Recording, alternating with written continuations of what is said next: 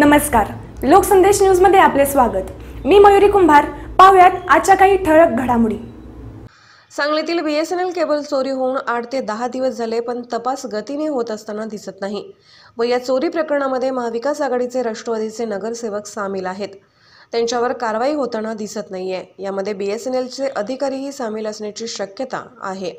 Police प्रशासनावर राज्यातील महाविकास आघाडीचा व मंत्र्यांचा मोठा दबाव आहे. चोरी झालेली बीएसएनएलची केबल केंद्र सरकारची मालमत्ता आहे. अशी केबल चोरी राज्यातही अनेक ठिकाणी झाल्याची शक्यता नाकारता येत नाही. त्यामुळे सांगली बीएसएनएल केबल चोरी प्रकरणाची सीबीआय चौकशीची मागणी अमित शहा गृह व सहकार मंत्री भारत सरकार दिल्ली अनुराग ठाकूर माहिती व नभोवाणी मंत्री भारत सरकार दिल्ली यांच्याकडे करण्यात आली आहे. सांगलीमध्ये बीएसएनएल केबलची दोन ते अडीच कोटी रुपये किमतीची केबल चोरी ती साधारणतः गेले आठ ते आठ ते दहा दिवसापूर्वी झाली.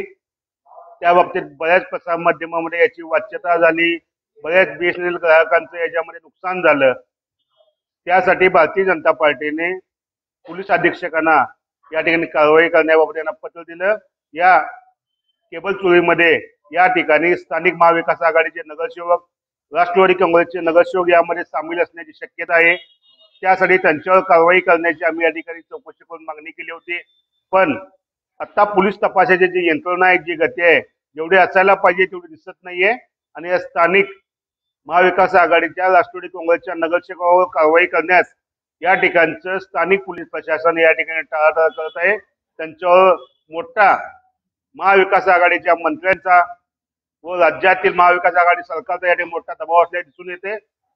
आणि त्यामुळे आणि ही केबल बीएसएनएलची ही केंद्र शासनाची मालमत्ता असल्यामुळे व योग्य ती तपास होत नसल्यामुळे आज आम्ही केंद्राचे गृहमंत्री अमितजी शाह साहेब आणि माहिती व नभोवाणी मंत्री अनुरागजी ठाकूर साहेब यांच्याकडे या सगळ्या सांगलीच्या घटनेची माहिती दिली.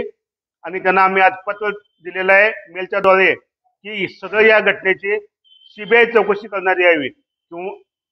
कारण असं सांगलीमध्ये ही फक्त अशी घटना घडली आहे.